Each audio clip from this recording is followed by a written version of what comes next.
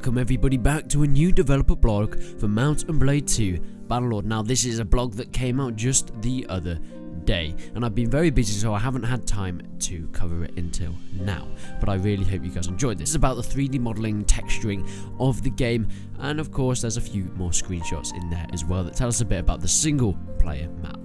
So sit back, relax and enjoy tonight's video on the new blog for Mount Blade 2 Bannerlord. Course we know Mount and Blade 2 Bannerlord is an extremely nice looking game. And this isn't just the battles that we play in the game, not just in multiplayer but single player as well, but this is also the map, the overhead map, the overworld map that we play in over the top. And it looks absolutely gorgeous. Now there's a screenshot here that has been put on the dev blog which just looks amazing. I love the river running through the valley here. We have the different towns the provinces of each of the factions going to war with each other and I think we're going to have definitely more of a resource battle in this game than we did in Warband, where we're going to be able to have to find different places to get different resources. Let's say one area of the map is going to have more wealthy, luxurious resources. We need to get that to be able to join that trade for like the silk trade or maybe a grain trade.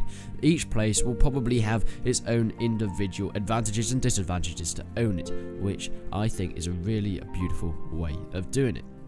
Now one of the new things that they're definitely doing to improve the game is to rewrite and implement an improved game engine greatly. Now we know Warband was a great game but it had its difficulties and the engine was something that really limited that in some way so I'm very glad that they're building upon that. This means that we're going to have more powerful graphics of course and textures, better optimization and all these new functions and things added in with these new mechanics. Now some of these new mechanics we have always seen in the past but one of my favourite ones is probably the dynamic overworld map that we can see there, which is basically, let's say you capture a town or a city.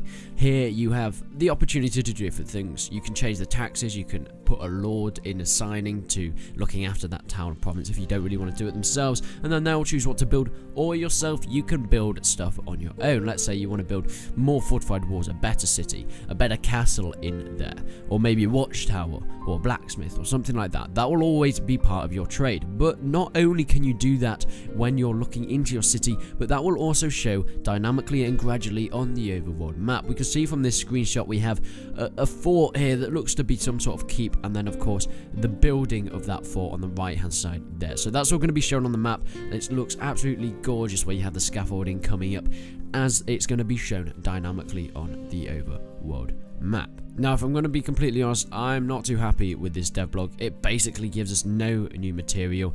That's why this video is so short. So, yes, I have promised that I will bring out a video every time there's a devlog. That's why I've done it. Uh, otherwise, I don't think I would have made this video since there's literally nothing here that's new. I feel like TaleWorlds are just kind of trying to pad out the waiting time at the moment with their devlogs. But other than that, guys, if you want to see more, make sure you follow the channel because I will be bringing them out every time there's a dev blog, no matter how little information we have. If we keep it short and sweet like this one, it will have to do.